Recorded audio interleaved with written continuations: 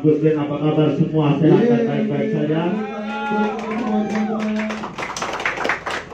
Malam ini kita dibantu oleh Haidar karena drummer kami sedang bercocok tanam musik hujan uh, panen mushroom ada yang malam ini sedang tidak baik-baik saja?